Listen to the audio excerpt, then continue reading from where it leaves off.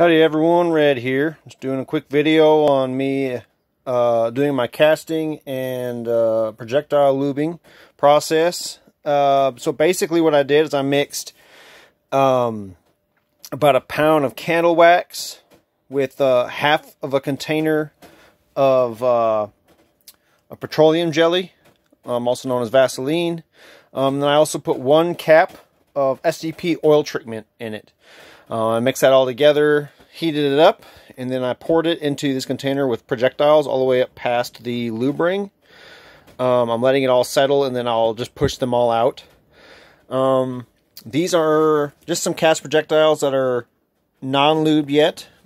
As you can see, uh, this copper one here is a commercial uh, purchase 223 round. And then, then this is my uh, cast projectile. Of course, after I lube it, I will be using my uh, my resizer.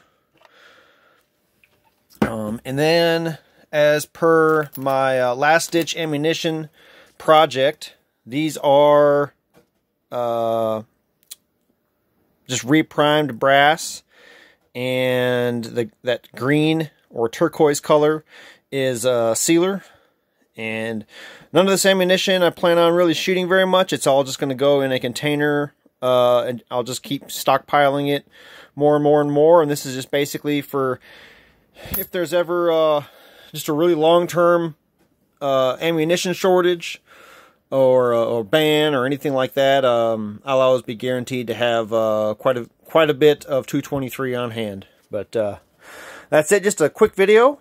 If you want to like, comment, subscribe, and uh, ring the bell. I will be adding more content shortly. Thanks.